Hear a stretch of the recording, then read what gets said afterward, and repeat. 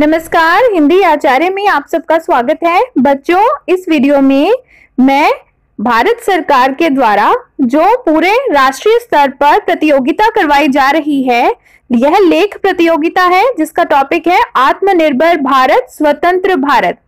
तो इस प्रतियोगिता में बहुत सारे उन्होंने टॉपिक्स दिए हुए हैं। मैं आपके लिए एक भारत श्रेष्ठ भारत के द्वारा कैसे भारत आत्मनिर्भर बनेगा, इस टॉपिक के ऊपर आपके लिए लेख लिखकर, लेकर आई हूँ।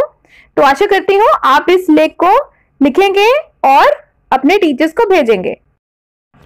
आत्मनिर्भर भारत, एक भारत श्रेष्ठ भारत द्वारा।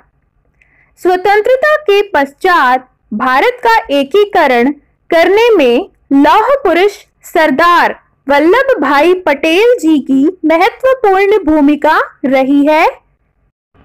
इसीलिए उन्हीं के जन्म की 140वीं वर्षगांठ पर एक भारत श्रेष्ठ भारत योजना का आरंभ भारत के प्रधानमंत्री श्री नरेंद्र मोदी जी के द्वारा 31 अक्टूबर 2015 को किया गया। यह योजना भारत की एकता को बढ़ाने के लिए है। भारत के हर क्षेत्र की अपनी सांस्कृतिक विरासत है, परंतु विविधता में भी एकता, यह सदैव भारत की शक्ति रही है। इसी अनेकता में एकता की परंपरा को बनाए रखते हुए एक भारत श्रेष्ठ भारत की योजना बनाई गई है।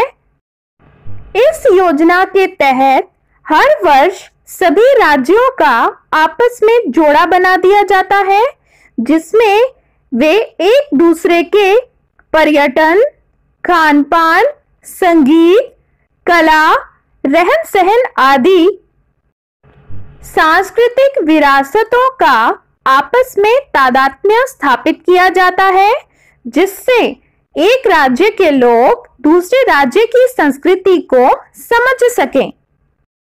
यदि भारत को आत्मनिर्भर बनाना है तो भारत को प्रांतवाद से ऊपर उठना होगा। भारत की विविधता भारत की कमज़ोरी नहीं, बल्कि भारत की शक्ति बननी चाहिए। इसी तरह की योजनाओं को भारत सरकार के द्वारा समय समय पर लाते रहना चाहिए, जिससे भारत की अनेकता में एकता अखंड बनी रहे और भारत आत्मनिर्भर बन सके। जय हिंद जय भारत।